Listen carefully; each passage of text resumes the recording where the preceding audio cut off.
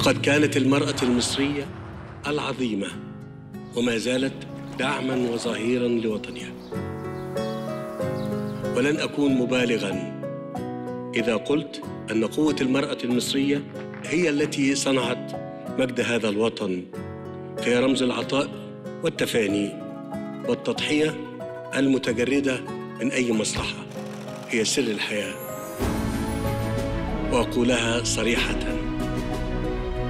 إن انحيازي للمرأة المصرية هو عن قناعة تامة وإيمان حقيقي بأن احترام المرأة وتقدير دورها وتمكينها وحمايتها. هو واجب وطني والتزام سياسي وليس هبة أو منحة بل هو حق أساسي لها وعلينا جميعا أن نتخذه كمنهج حياة. فبدونه لن يتحقق أي نجاح منشود.